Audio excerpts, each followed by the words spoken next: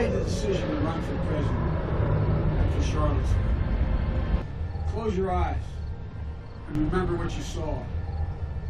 Neo-Nazis, white supremacists, the KKK coming out of the fields with torches lighted, veins bulging, chanting the same anti-Semitic bile heard across Europe in the 30s.